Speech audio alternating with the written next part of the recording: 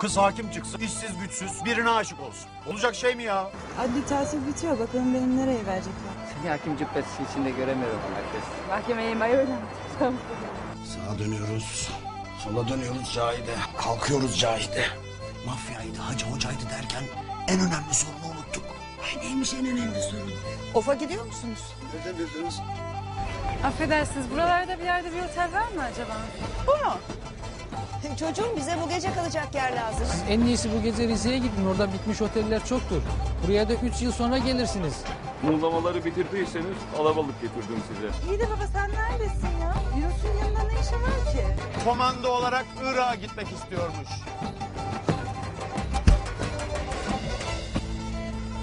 Kira kontratımızda eve erkek almak yoktu değil mi? Ama Hamdullah Efendi, Selami benim eşim. Adınız soyadınız? Madem okuma yazman yok da ne diye odudun o koskoca hakim olduğunu? Oo, o ya dört kişilik mi? Yetti mi?